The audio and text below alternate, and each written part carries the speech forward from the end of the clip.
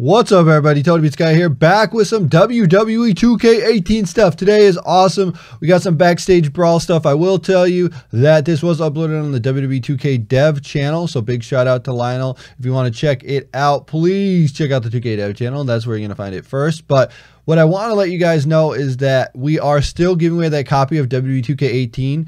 Uh, we have multiple copies we're giving away. So this is the last, last, last chance to get it. The last, the very last chance that you can get a copy of WWE 2K18. Multiple copies we're giving away. So make sure you get on over, follow the link in the description, and let's go. Uh, what I will say here is that we're looking at some backstage brawl footage in WWE 2K18. And we don't have actual footage, but we have like, it's kind of like slowed down, still screenshots that they zoom by. It's kind of cool. It's like in-game stuff, but you're have a still frame and you pan. Now, there's a lot of cool things you'll notice. Um, we do see stuff that has a truck backstage and there's a car backstage. Um, there's a couple cool things that you can do. Um, one of them is jump off the truck and the other is actually do a finisher on the car.